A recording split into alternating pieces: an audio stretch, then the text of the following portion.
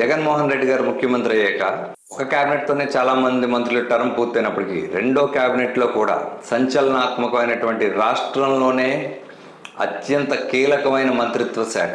శాంతి భద్రతలను పరిరక్షించే హోంమంత్రి బాధ్యతలు చేపట్టినటువంటి శ్రీమతి తానేటి వనిత గారితో ఈరోజు మనం ఉన్నాం.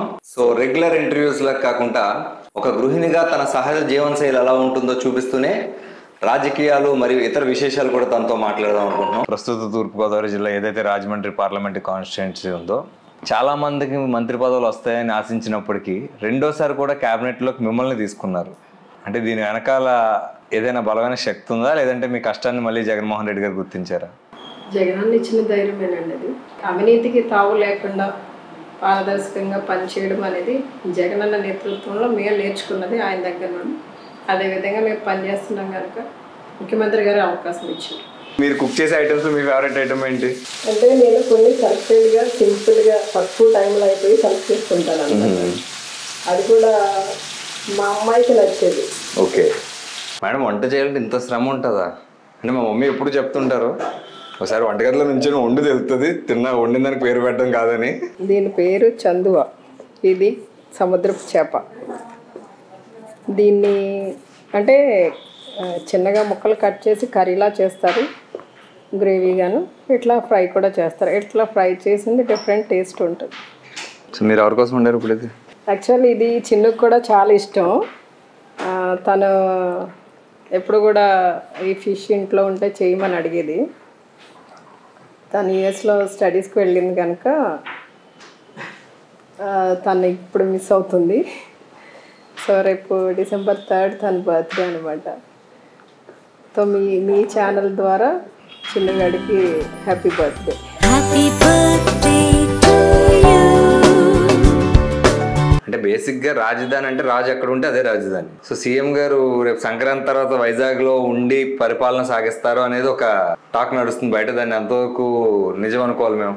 థాట్స్ అంటే చాలా నడుస్తాయి విజయ్. అన్నిటినీ మనం చెప్పలేం కదా అది కాదు. ప్రజలందరూ కూడా చాలా హ్యాపీగానే ఉన్నారు ఆ విషయంలో. ప్రతిపక్షం వాళ్ళు తప్పించి. అది కూడా వాళ్ళు ఎందుకంటే అక్కడ వాళ్ళకి సంబంధించిన రియల్ ఎస్టేట్ భూములు ఎక్కడ నష్టపోతాం వల్ల భయం వాళ్ళకి అంతే. సో కొవ్వూరులో ఇతర పార్టీ నాయకులు ఎవరు కూడా ప్రజా సమస్యలపై పోరాటం చేయట్లేదు. అంటే ప్రజలకు సమస్యలు ఉన్నాయంటారు. ఉన్నాయా లేదో వాళ్ళు చెప్పాలి. ఈ రోజున గవర్నమెంట్ కొన్ని స్కీమ్స్ ఇవ్వడము కొంత మంచి చేయాలని ట్రై చేస్తుంది పేదలకి. వాటిలో ఏదైనా మంచి చెడు ఉంది అంటే కనీసం చెప్పడానికి ట్రై చేయాలి. ప్రవేశపెట్టిన ప్రతి పథకం కూడా రెండు వేల ఇరవై నాలుగులో ఎలా ఉపయోగపడతాయి అనుకుంటున్నారు? అంటే జనరల్గా విజయ్ ఎవరైనా సరే పొలిటీషియన్గా ఉన్నవాళ్ళు రేపు రాబోయే ఎన్నిక ఎలా ఉంటుంది? మనం ఎన్నికకి వెళ్ళాలంటే ఏ ఓట్ బ్యాంక్ ఎక్కువ ఉంటే వాళ్ళకి మనం ఏది ప్రామిస్ చేస్తే లేదు ఏది ఇస్తే దాన్ని బట్టి మన కోట్లు ఎక్కువ పడతాయని ఆలోచన చేస్తారు జనరల్గా. ముఖ్యమంత్రి గారు జగన్మోహన్ రెడ్డి గారు అయితే అలాంటి పొలిటీషియన్ కాదు. అంటే ఏదో వాళ్ళ మా అవసరాల కోసం లేదా మా మేము నెగ్గడం కోసం ఏదో చేయాలి వాళ్ళని ఏదో మభ్య పెట్టాలి మాయ చేయాలి చేయాలి అనే మనస్తత్వం అయితే ఆయనకు ఉండదు. ఎంతసేపు కూడా పేదవాడి ఇంట్లో ప్రతిరోజు మూడు పూట్ల పట్టెడు అన్నం తినాలి. వాళ్ళు సంతోషంగా ఉండాలి. వాళ్ళ స్థితిగతులు మార్చాలి. ఇదే కాన్సెప్ట్ ఆయన పనిచేస్తున్నారు. అది ప్రజలకు అర్థమైంది ఖచ్చితంగా రాబోయే రోజుల్లో ప్రజలు మళ్ళీ జగన్ దిగిస్తారు సో రాష్ట్రంలో చాలా కీలక పరిణామాలు నడుస్తుండగా మీరు హోంమంత్రిగా బాధ్యతలు చేపట్టారు. అంటే మీకు ముందున్న హోంమంత్రుల కన్నా ఆంధ్రప్రదేశ్ ఆవిర్భవించినప్పుడు నుండి గతంలో ప్రభుత్వం అనివ్వండి ఇప్పుడు ప్రభుత్వం అనివ్వండి మీరు ఎదుర్కొంటున్న సిచ్యువేషన్స్ చూస్తే కనుక వాళ్ళతో కంపారిటివ్లీ కొంచెం టఫెస్ట్ సిచ్యువేషన్స్ మీరు హోంమంత్రి ఉండగానే ఎలక్షన్స్ కూడా వస్తాయి.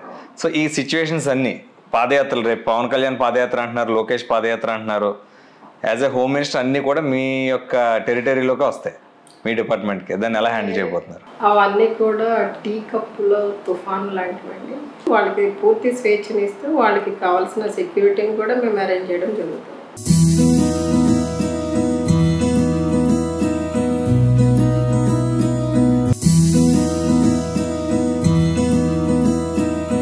Please like share and subscribe Giant Media AP and Telangana